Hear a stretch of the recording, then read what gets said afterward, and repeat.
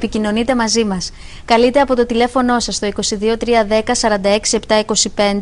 ή από το κινητό σας, γράφετε ρούλα, αφήνετε ένα κενό, το μήνυμά σας και όλο αυτό στο 54045. Είπαμε λοιπόν πως ε, μεγάλο μέρος της εκπομπής της σημερινής θα είναι αφιερωμένο στην, στα παιδιά που ξεκινούν το σχολείο και γενικότερα στη σχολική χρονιά που από σήμερα πλέον ε, μπήκε, μπήκε σε εφαρμογή, έγινε η επίσημη έναρξή της. Ε, θα έχω κοντά μου και θέλω να καλησπερίσω στο σημείο αυτό τον ορθοπαιδικό χειρουργό από την ε, Πολυκλινική, τον κύριο ε, ε Καριστινός Αναστάσιος. Καλησπέρα σας. Καλησπέρα σας. Καλησπέρα και στους τηλεθεατές σας. Σήμερα λοιπόν ξεκίνησε η σχολική χρονιά και το πρώτο έτσι μέλημα όλων είναι ο σχολικός μας εξοπλισμός. Μάλιστα από ό,τι ακούσαμε πολλά σχολεία δώσανε και τα βιβλία σήμερα και από αύριο θα μπουν κανονικά στο πρόγραμμα. Το ερώτημα που τίθεται και που απασχολεί όλους είναι η σχολική τσάντα. Και όταν λέμε σχολική τσάντα δεν εννοούμε φυσικά μόνο το, ε, τη ζωγραφιά της απ' έξω, ε, το υλικό κατασκευής της, κυρίως εννοούμε το βάρος της, το ιδανικό βάρος, προκειμένου να μην δημιουργούνται προβλήματα στα παιδιά, στους μαθητές. Ε, έχετε πολύ δίκιο. Αυτό είναι, ένα, ε, είναι μέλημα για πολλούς γονείς και απασχολεί πολλούς γονείς το βάρος της σχολικής ε, τσάντας του παιδιού και πόσο βαριά πρέπει να είναι αυτή η τσάντα ε, που κουβαλάει το παιδί.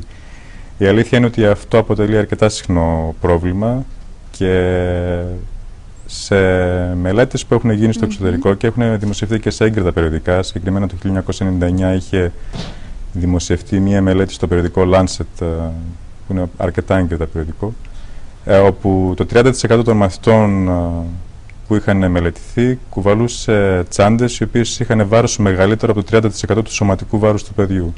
Μάλιστα. Καταλαβαίνετε ότι αυτό είναι αρκετό φορτίο για ένα παιδί, ειδικά για ένα μικρότερο παιδί και μπορεί να προκαλέσει προβλήματα. Μάλιστα. Επομένως, πόσο βάρος πρέπει να έχει η σχολική τσάντα; Ε, δεν υπάρχει ομοφωνία όσον αφορά το απόλυτο βάρος που πρέπει να ζυγίζει η σχολική τσάντα, αλλά ε, συστήνεται η σχολική τσάντα να μην υπερβαίνει το 10% του σωματικού βάρους ε, του παιδιού ε, και σε καμία περίπτωση να μην είναι μεγαλύτερη από το 20% του σωματικού βάρους του παιδιού. Αυτό σημαίνει ότι σε ένα παιδί ε, που ζυγίζει 20 με 25 κιλά, σε ένα πρωτάκι να το πω διαφορετικά, ναι. η σχολική τσάντα δεν θα πρέπει να είναι βαρύτερη από 2,5 κιλά.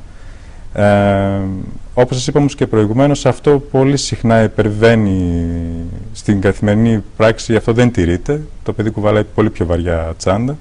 Ναι. Αλλά γενικές, σε γενικές γραμμές θα πρέπει να φροντίσουμε στο σχολική τσάντα να μην υπερβαίνει το 10% του σωματικού βάρους του παιδιού. Μάλιστα.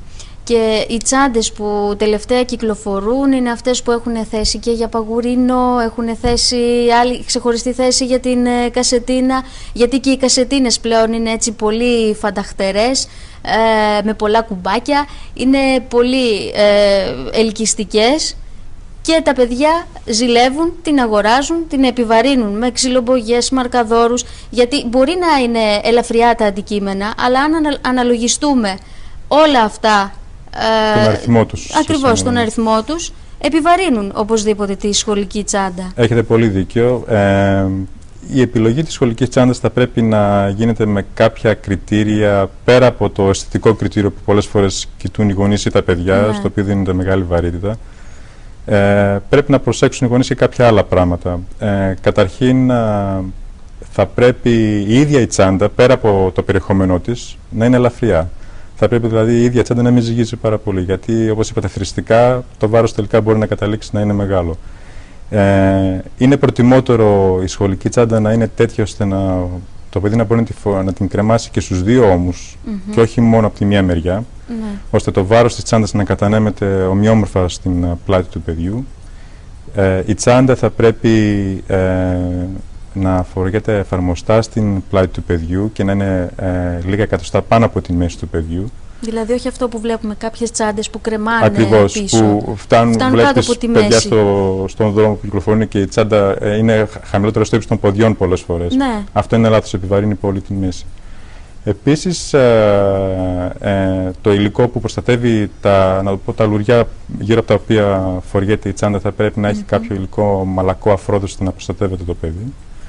Ε, ο ίδιος ο γονιός θα πρέπει να δώσει προσοχή ώστε ας το πούμε τα βαριά βιβλία ή τα βαριά αντικείμενα που τοποθετούνται μες στην τσάντα να τοποθετούνται κοντά στην ράχη του παιδιού, δηλαδή να είναι στις θήκες της τσάντας οι οποίες είναι πιο κοντά στο σώμα του παιδιού ώστε το βάρος ε, να μην καταπονεί τόσο πολύ την μέση του.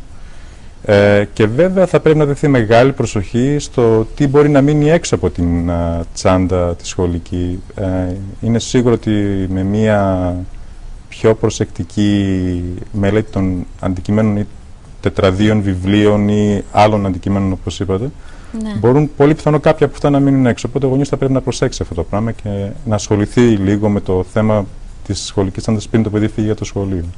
Θα μπορούσαν ίσως τα παιδιά να βάζουν το φαγητό τους, το νεράκι τους, το χυμό τους, οτιδήποτε παίρνουν σε, ένα πιο, σε μια πιο μικρή τσάντα ε, και να την παίρνουν στο, στο χέρι τους. Σε πιο μικρή τσάντα. Αυτό είναι σαφώς μία λύση. Ε, μία άλλη λύση που πιθανόν θα πρέπει να την εξετάσουν ίσως και τα σχολεία με δεδομένο ότι ο αριθμός των βιβλίων ακόμα και στις μικρές τάξεις είναι μεγάλος. Ακριβώς. Πιθανόν να, να ε, προβλεφθεί κάποιος χώρος κάποια βιβλία θα μπορούσαν να παραμένουν στο σχολείο αν αυτό είναι δυνατό. Αυτό προστίθενται και τα τετράδια. Και Έχουμε δύο-τρία τετράδια για κάθε μάθημα. Έτσι, είναι, ε, πολύ, σε κάποια σχολεία, κυρίως ιδιωτικά είναι η αλήθεια στην ε, Ελλάδα, ναι. Υπάρχει χώρος που τα παιδιά μπορούν να αφήσουν κάποιο από τον σχολικό τους εξοπλισμό στο σχολείο, ώστε να μην χρειαστεί να τον πηγαίνουν φέρνουν καθημερινά στο σχολείο. Ναι. Αυτό γίνεται φυσικά κατά κόρον στο εξωτερικό, αλλά ίσως είναι κάτι που αξίζει ε, της προσοχής και του Δημόσιου Ελληνικού Σχολείου και των ε, συμβουλίων των γονιών που ασχολούνται με το σχολείο.